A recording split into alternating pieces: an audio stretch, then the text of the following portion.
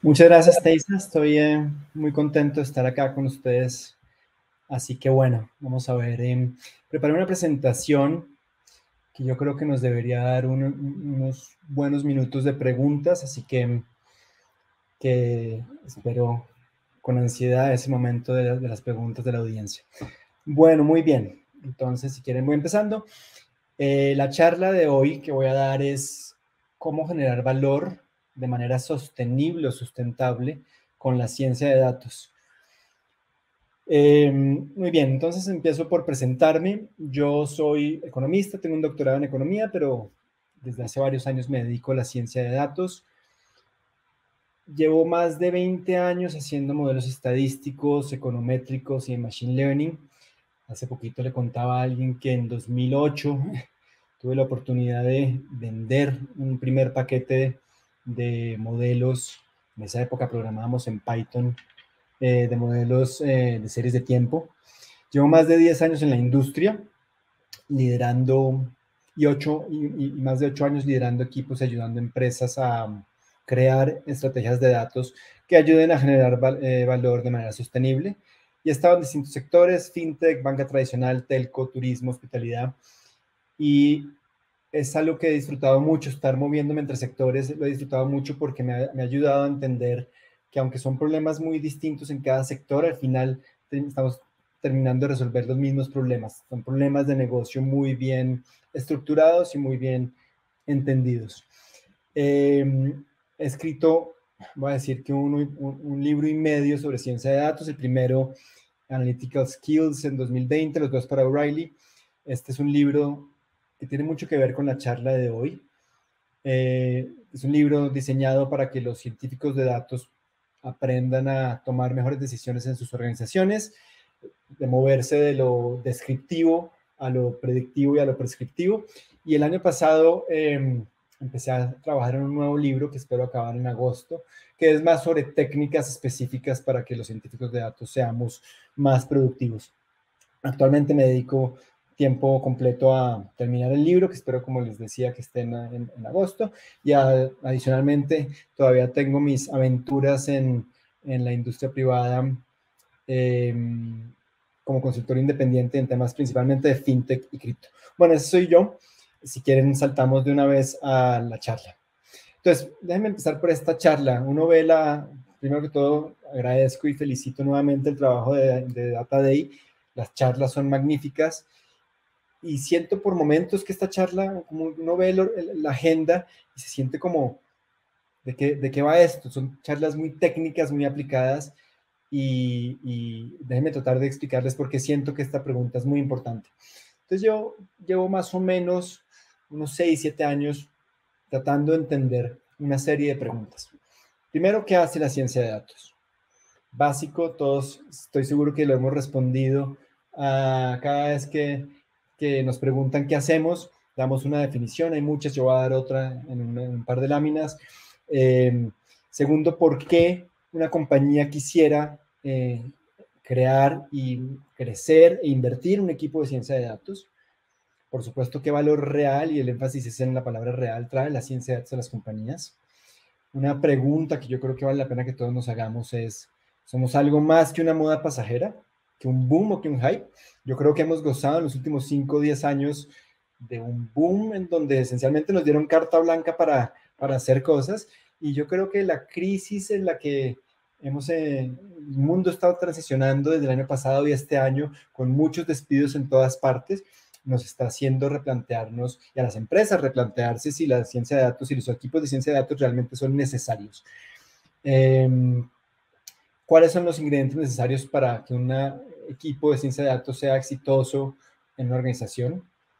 Y una última pregunta que es muy reciente porque estoy, he estado pensando mucho sobre esto y vamos a hablar un poco en las últimas láminas sobre esto, es cómo nos va a afectar la transformación actual de inteligencia artificial, los, los llamados modelos grandes de lenguaje. No sé si la traducción exacta es esa, Large Language Models, pero seguramente les suena ChatGPT, BART, etc. Entonces vamos a hablar un poco de esto y voy a empezar con la primera pregunta.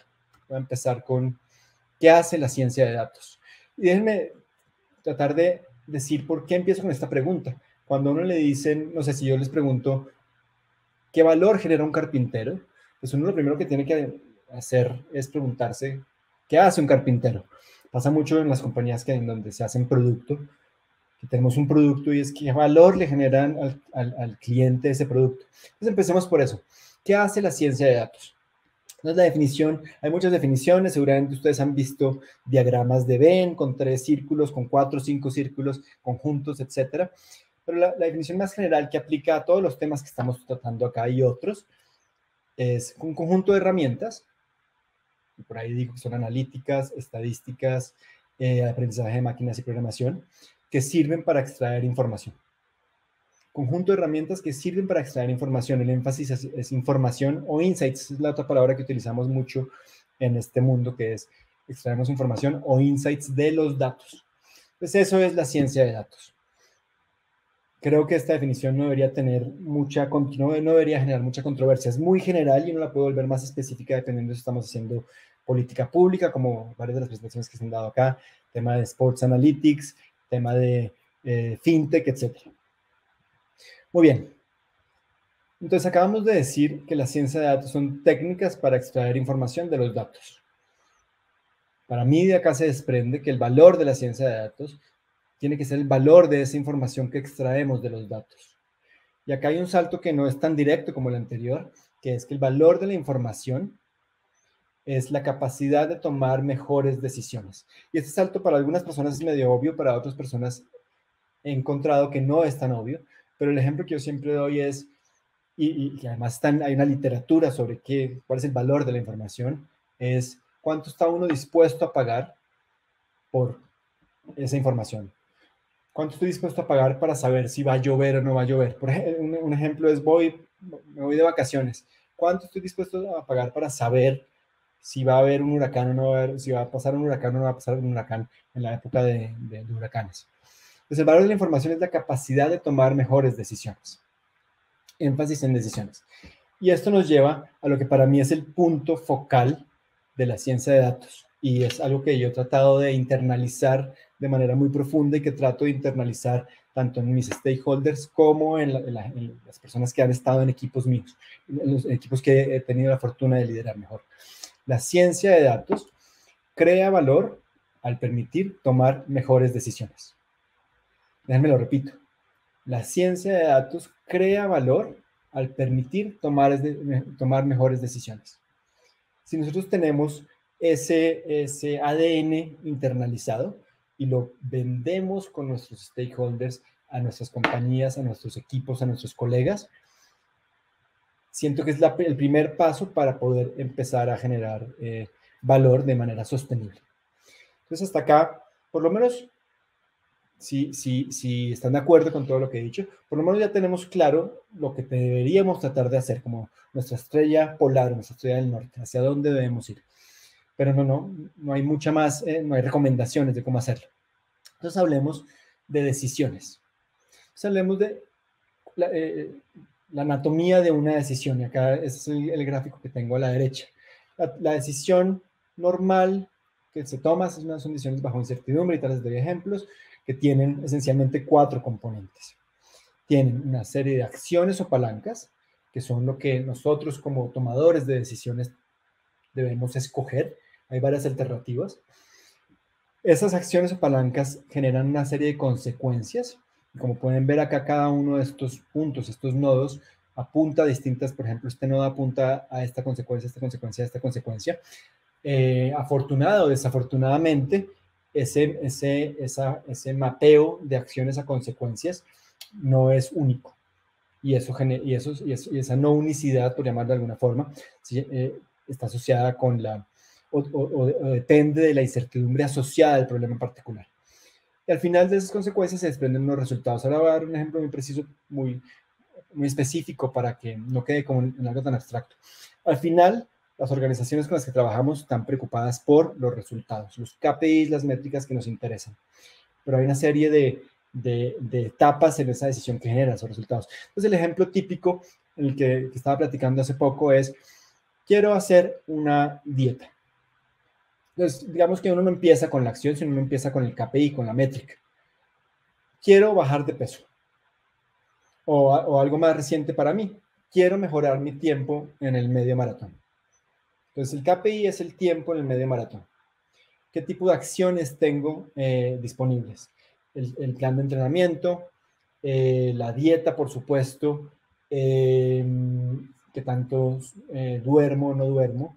Desafortunadamente, yo, yo puedo tomar decisiones sobre cada uno de estos, digamos, el plan de entrenamiento. Yo puedo decir correr cinco días a la semana. Nada, correr cinco días a la semana no garantiza que yo mejore mi tiempo. Depende de una serie de consecuencias que no están desafortunadamente bajo mi control. Dependen, y ahí es donde está la, la, incertidumbre asociada al problema. Entonces, este ejemplo que les acabo de dar es muy básico. Estoy convencido que aplica para la mayoría de decisiones relevantes en nuestras vidas y en las organizaciones. Si entendemos esta anatomía de las decisiones, siento que podemos avanzar mucho en cómo generar datos, eh, valor en los datos, con la ciencia de datos. Entonces, déjenme sigo. Entonces, ¿cómo podemos mejorar? Teniendo en cuenta esta, esta anatomía o esta arquitectura de las decisiones, ¿qué debería ser la ciencia de datos como mínimo? Para mí estos son los puntos mínimos por los que tenemos, en los que tenemos que trabajar de manera consistente. Entonces, número uno, incertidumbre. Esta incertidumbre asociada. Cada problema tiene una incertidumbre asociada. En el caso que les acabo de dar es yo puedo correr cinco días a la semana, pero eso no garantiza que yo vaya a mejorar mi tiempo. Depende de una serie de cosas que están fuera de mi control y eso genera incertidumbre. Entonces, lo que es interesante para nosotros como, como practitioners, como gente que utiliza eh, la ciencia de datos y el, aprendizaje de máquinas, pues el aprendizaje de máquinas son modelos predictivos. El machine learning nos ayuda a navegar un mundo incierto. Y entre mejores modelos predictivos tenemos, mejores predicciones podemos hacer y podemos navegarla de una manera más, más eh, eficaz. Entonces, como mínimo, deberíamos estar pensando en la incertidumbre asociada a esas decisiones que son relevantes para nuestra compañía, para nuestra organización, para nuestros stakeholders. Em, y eso siento que ya lo estamos haciendo. Punto número dos, me regreso. Entonces, punto número uno era trabajar con la incertidumbre. Punto número dos, trabajar con las métricas. Entonces es algo que yo llamo, bueno, algo que se conoce como diseño de métricas. ¿Qué es diseño de métricas? Entender cuáles son los KPIs que nos interesan y descomponer esas métricas en submétricas que sean accionables y relevantes. Hay unas métricas que nos interesan de altísimo nivel como los ingresos de la compañía, pero esas métricas no no son directamente accionables cada uno de los equipos en los que nosotros estamos embebidos y trabajando, hay una serie de submétricas que sí podemos accionar. Hay un capítulo dedicado exclusivamente a esto en el nuevo libro. Es un tema súper interesante y además que nos puede llevar muy eh, relativamente simple de aprender y nos puede llevar muy lejos en el impacto que tienen los equipos de ciencia de datos. Y tercero, medición de incrementalidad de las palancas. Yo decido si corro cinco días o cuatro días o siete días a la semana y dependiendo de eso, tengo unos resultados. Al final corro el medio maratón y el medio maratón me da un tiempo. La pregunta es, ¿el tiempo del medio maratón se debió causalmente al plan de entrenamiento que tomé? O déjenme, o déjenme cambio esta frase.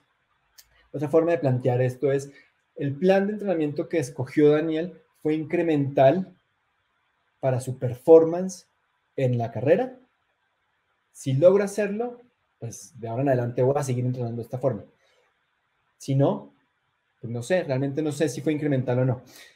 Es la tercera que yo diría que es como mínimo de lo que podemos hacer. ¿Y por qué digo como mínimo? Siento que está dentro, ya está, estas tres ya están dentro de nuestra caja de herramientas. Pensamos muchas veces que nuestra caja de herramientas es solo programación y machine learning, pero hay mucho más que eso. No solamente programación y machine learning, sino diseño de métricas, causalidad, etc. Entonces, y cuando digo como mínimo, estoy dejando por fuera muchas otras cosas que ya hacemos, como hacer dashboards, como responder preguntas un poco más analíticas, todo eso ya lo estamos haciendo.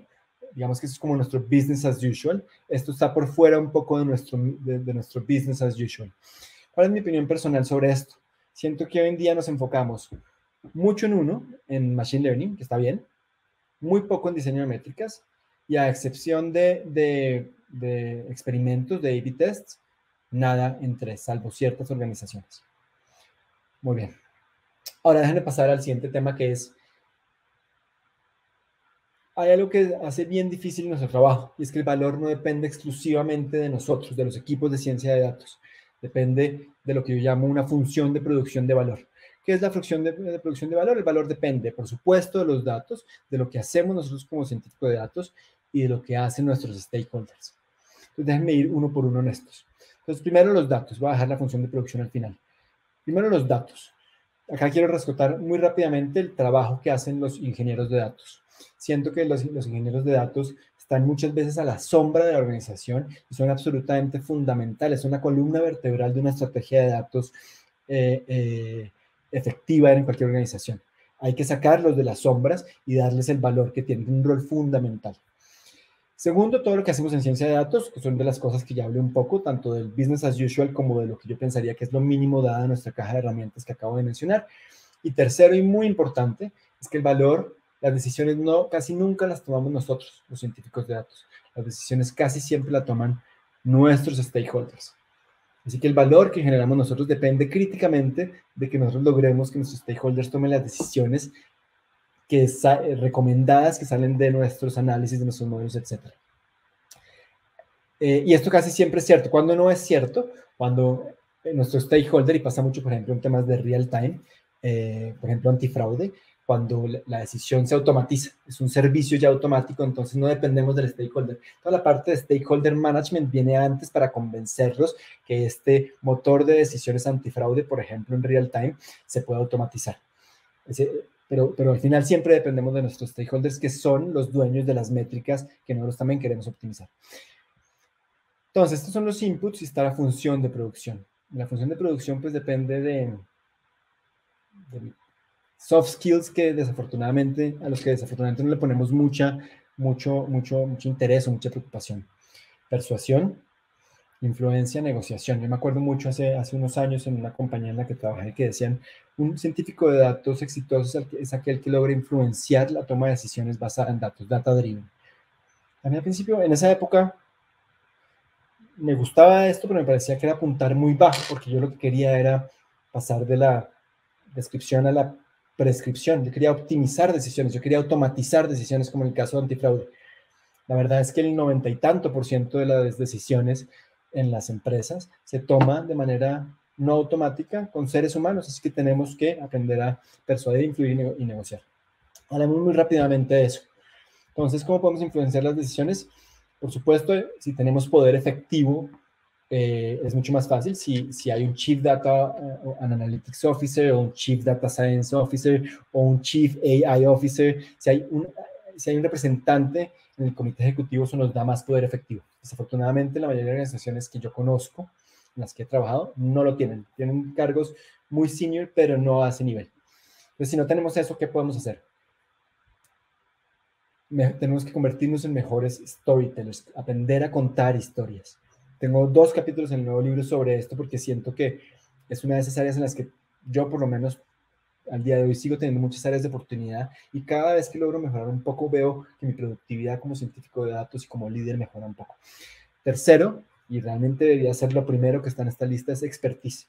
Siempre repito que debemos saber tanto el negocio como nuestros stakeholders. Saber tanto del negocio como nuestros stakeholders. Solo si tenemos esa expertise, ganamos credibilidad. He visto científicos de datos que dedican semanas a un proyecto súper importante y con mucho impacto y llegan, presentan y los números no, no tienen sentido desde el punto de vista de negocio. Los ingresos dan un orden de magnitud arriba o abajo. Ahí perdimos toda la credibilidad. Todo lo que hicimos se perdió por no vivir el negocio. Tenemos que vivir el negocio día a día. Por supuesto, transparencia, confianza y por supuesto empatía y resiliencia. Y lo que quiero realmente resaltar es que tenemos que aprender a ser vendedores. A mí me, a mí me encantan, eh, los he sufrido mucho, pero también me encanta, aprendo mucho de, de los vendedores, por ejemplo, de plataformas eh, de datos que constantemente nos contactan por LinkedIn y nos llaman incluso. Tienen una resiliencia y empujan, empujan, empujan, empujan, empujan. Tenemos que aprender a hacer eso. Tenemos que realmente aprender a hacer eso para entrar en esas capas que tienen nuestros stakeholders. Bueno, muy bien. Entonces, en resumen, hasta acá, ¿qué, ¿qué, he dicho? La ciencia de datos crea valor mejorando las decisiones de la organización. Eso sugiere que deberíamos cambiar el foco de lo técnico a las decisiones. A todos nos encanta lo técnico, pero lo técnico solo nos compra un pedacito. Todo lo demás de impacto viene con todo lo que sigue. Tenemos que entender el negocio también como nuestros stakeholders y algo que yo siempre le digo a la gente que ha estado en mis equipos es, tenemos que conocerlo mejor que nuestros stakeholders. Tenemos unas herramientas que ellos no tienen. Tenemos los datos, tenemos las métricas, descomposición de métricas. Tenemos que entender. Entonces, siento que tenemos que conocerlo mucho mejor que ellos. Por supuesto, entender cuáles son las decisiones estratégicas de nuestro negocio. Cada, cada empresa, cada organización toma cientos de decisiones diario y muchas de esas no deberían estar en nuestro foco. ¿Cuáles son las que generan más impacto y que no tienen tanta complejidad? Hay un, balance muy fino entre, entre impacto y complejidad. Eh, ya entrando a la, anatomía de las decisiones, si no conocemos las métricas que están optimizando, que le preocupan a nuestros stakeholders, si no conocemos las palancas, no conocemos la incertidumbre asociada a esa decisión, pues va a ser muy difícil. Tenemos que conocer perfectamente internamente la arquitectura de esas decisiones estratégicas. Y finalmente, y digo finalmente, suena como lo más fácil, pero no solo probablemente es lo más difícil y además lo más importante, tenemos que dominar esa función de producción de valor. ¿Cómo se hace eso? Invirtiendo en desarrollo de soft skills. Y eso debería ser una tarea en la que yo por lo menos me embarco diariamente y me frustro diariamente porque es bien, bien difícil trabajar en estos soft skills que son críticos. Muy bien. ¿Cómo medimos si una organización es incremental? Eso es algo que yo hago siempre que lidero equipos y lo, y lo, y lo platico y lo comento con la, con la, gente de mis equipos es, ¿realmente estamos generando valor? ¿Realmente somos incrementales? Entonces, ¿qué es incrementalidad para mí? Incrementalidad es una función que depende de características de la organización, la cultura de la organización, la forma, eh, la jerarquía, la forma como se organizan, la comunicación, etcétera. Y si tenemos ciencia de datos o si no tenemos ciencia de datos, manteniendo todo lo demás constante que es la organización. Si esta, si esta incrementalidad nos da negativa, hay que iterar. ¿Y por qué digo que hay que iterar? Es mucho más fácil que nosotros cambiemos y nos adaptemos a la organización a que la organización se adapte a nosotros. Yo me he frustrado muchas veces en el trabajo pensando que eso se puede hacer. No, uno tiene que adaptarse a la organización y buscar como, como sus vendedores, que me mencionaba hace un rato, la mejor forma de entrar y persuadir e influenciar y ahí todo lo demás. Estoy simplificando mucho, pero entonces, pero para mí esto es súper importante. Tenemos que estar constantemente midiendo nuestra incrementalidad. La ciencia de datos, el producto que vendemos es medición e impacto a partir de los datos es muy chistoso que a veces no vivimos esos valores internamente que estamos vendiendo. Tenemos que medir nuestra, constantemente nuestra, nuestra incrementalidad. Muy bien. Eh, siento que nos queda algo de tiempo todavía, eh, aunque ya hice 12 y 3, igual ya estoy a punto de acabar. Déjenme, termino con una serie de reflexiones sobre el contexto actual de la inteligencia artificial. Entonces, espero que todos conozcan este lenguaje, las LLMs o modelos grandes de lenguaje o Large Language Models, ChatGPT, BAR de Google y una serie de otras, de otras cosas que han salido por ahí, que están saliendo y que van a seguir saliendo. ¿Cuál es el impacto de estos modelos grandes de lenguaje, que hoy en día se llama inteligencia artificial, y el futuro de lo que nosotros hacemos, de la ciencia de datos? Yo tengo acá un, un conjunto de cuatro, una lista de cuatro opiniones personales que ordené de, porque tan controversiales son. Entonces, la primera opinión personal es que la inteligencia artificial va a tener un impacto importante en la forma como hacemos ciencia de datos. Creo que no es muy controversial porque es demasiado general, no estoy haciendo predicciones muy precisas, muy riesgosas. Nos va a impactar. Creo que en, en, sobre ese tema estamos todos de acuerdo, no sabemos cómo. La segunda opinión en términos de qué tan controversial es, es muchas de las tareas actuales que nosotros desempeñamos van a estar automatizadas en, no arriesgar a decir que en menos de cinco años. Por eso es menos controversial, porque cinco años, hoy en día cinco años se siente lejísimo, es como, por supuesto que va a suceder. Hace un año, cinco años se, se, sentía como una predicción, en mi opinión, bastante arriesgada. El mundo cambió mucho del año pasado a este. Este año está, está acelerándose muy rápidamente. La siguiente opinión personal es que nuestros stakeholders van a poder ejecutar directamente, sin nuestra intermediación, muchas de las tareas que, hacemos actualmente. Imagínense nuestro stakeholder hablando con uno de estos, de estos modelos, diciéndole, ok, ahora sácame esta información, grafícame esto, llévate estos datos, haz este modelo, dame una predicción. Sin saber de modelos, sin saber todo lo técnico, nuestros stakeholders no lo van a hacer, pero simplemente ellos dan una serie de instrucciones y estos modelos de lenguaje natural las ejecutan. Yo creo que eso va a pasar muy pronto. De hecho, yo estoy bastante sorprendido cada vez que utilizo ChatGPT para programar. Quedo impactado lo, lo maravillosa que es esa interfaz. Es que es una conversación con un ser humano, con algo que parece ser como un ser humano tan inteligente como nosotros. Eh, y la más controversial es que si no evolucionamos lo que nosotros hacemos, nuestro job description, yo creo que vamos a desaparecer. La ciencia de datos, la ingeniería de datos, el data analytics va a desaparecer si no la evolucionamos. Siento que muchas de las cosas que hacemos actualmente son fácilmente automatizables con la tecnología actual. Ni siquiera sé qué va a pasar en el resto de este año que está lleno de cosas o en los siguientes años. Y eso me lleva a la pregunta que yo me estoy haciendo constantemente y que creo que es natural que todos nos hagamos. ¿Qué podemos hacer hoy que la inteligencia artificial de hoy no puede hacer? ¿Y qué podemos, y, qué podemos invertir hoy que probablemente la inteligencia artificial no va a poder hacer en unos años? Y hay muchas cosas. Esta misma pregunta se la están haciendo eh, eh, sectores en el área más creativa, diseñadores, escritores, guionistas, desarrolladores de software clásico. Eh, y siempre decimos que la capacidad creativa, etcétera, yo creo que es muy importante. Pero en particular para lo que nosotros hacemos, los científicos de datos, siento que es uno, pensamiento lógico y analítico.